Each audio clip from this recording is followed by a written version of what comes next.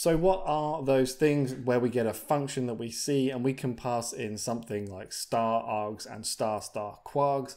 What does that mean and why should you use it or should you even use it?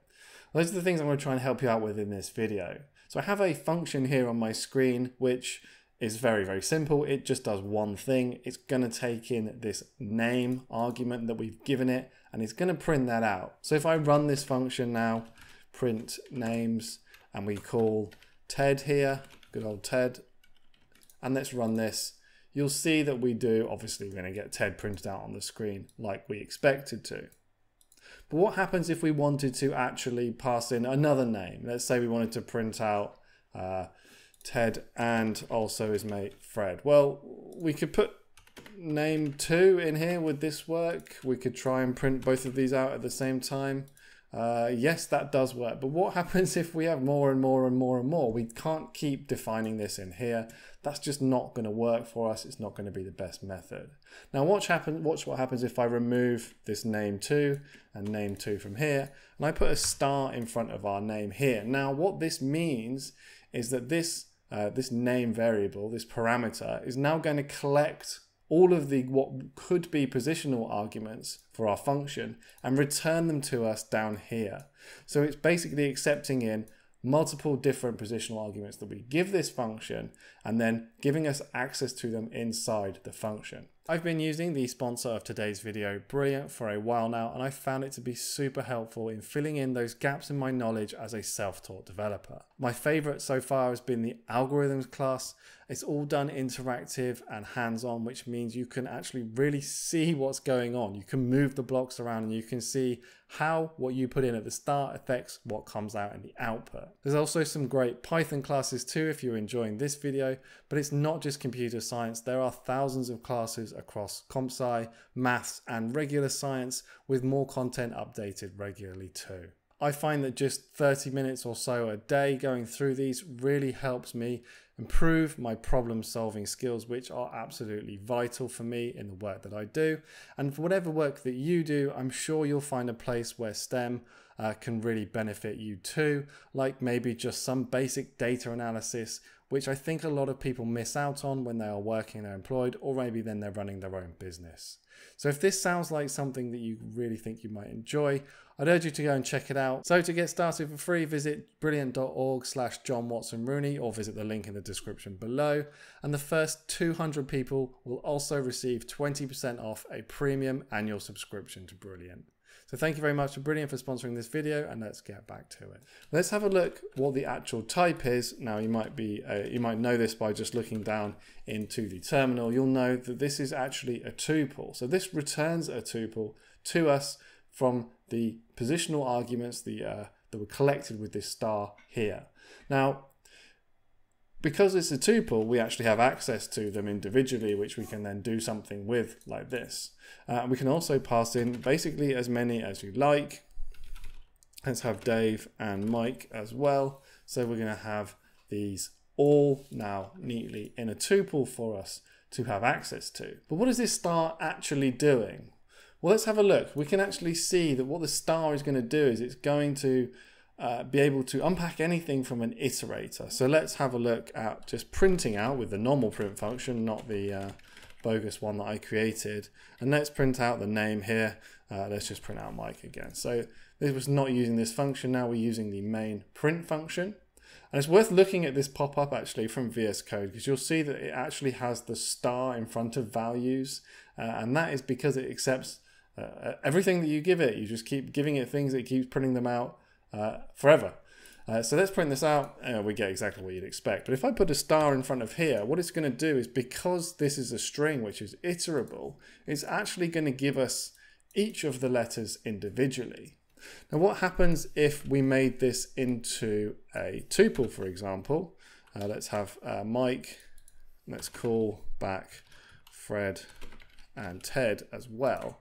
Again with the star here, we get them outside of the tuple because this has basically unpacked it for us. And this works with lists as well. But what happens if we were going to say, let's use the keyword arguments? Uh, now, before we move on to that, actually, I've noticed that I've called this name here.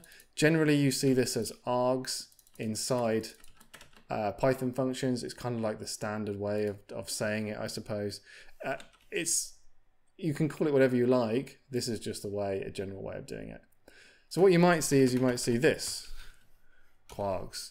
So this is now going to represent any keyword arguments that we give it. But what's a keyword argument? Well, if you've ever seen a function from a module that you've imported or you've pip installed and it says you need to give it this specific piece of data, then you'll understand what that is. I'm actually going to show you one of those here. So this is the um, requests uh, package for Python, one that we all use all the time. And here's the standard function to make a request.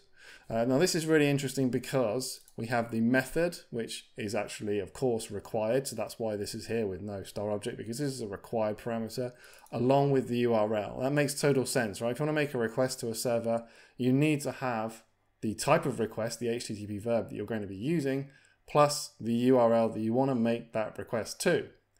The next thing that we see is these star star keyword args, the key the kwargs, the keyword arguments. Now, if you've ever used this, you'll know that you can pass in extra things like headers and cookies and bits of data. And that is exactly what a keyword argument is. And you'll see, here we are, you can see like headers, optional dictionary to send, cookies, optional dictionary. So this is how this actually collects all of that information. And then this function works out what you're trying to do based on all of these arguments that you give it. So let's come back to our code now. Let's just remove this one and we'll do something with this so we can see how uh, this star argument actually, uh, this star operator uh, unpacks the uh, dictionary for us. So let's have our headers, which is just from our last example. Let's just have that as a test string and then we'll have name and that can be our, our good friend uh, Ted over here.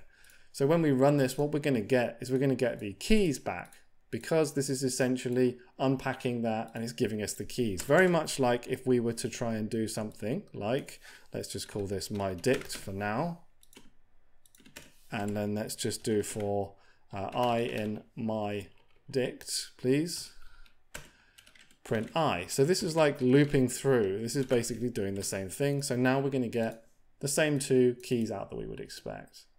Now, obviously, when we're working into this function, we have to use double star because if we the star is already uh, taken to represent the positional arguments, the, the, the, arguments that come out as a tuple.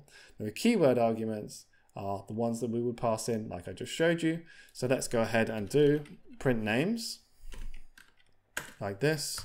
And we'll have the first one, which was the keyword. We're going to call this one name is equal to uh, Ted, and then our name 2 can be equal to Fred. Now, if I change this to print out the type for keyword arguments and print out the keyword arguments at the same time, we'll get back here a class of dict, and it is returning a dictionary to us with the name as our key, as we've shown here.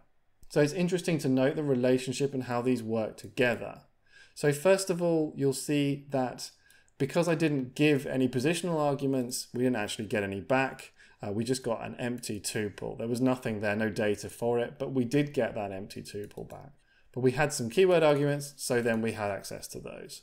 What do you think would happen if I put name in here? Well, this would be a required argument, okay? So this is a, a required parameter for this function. But I'm already specifying name down here.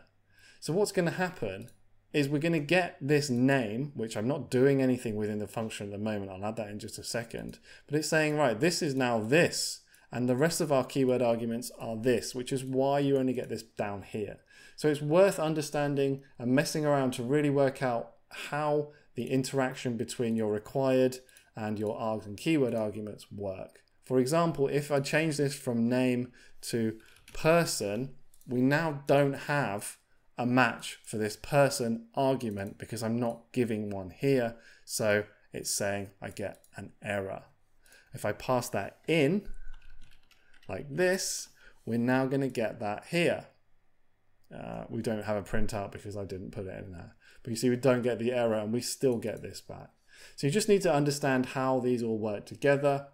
Um, the most common places that you're going to see this is in either in functions from uh, modules that you're importing, or perhaps you're uh, working with some data that you're going to be putting and unpacking into a database. You'll see this quite a lot as well. Or when you're using decorator or wrapper functions, because when you create a wrapper function uh, for a decorator or otherwise, you can actually modify the keyword arguments within that function that you pass along. So hopefully you now have a bit of a better understanding of how to use the star args and star star kwargs in a function.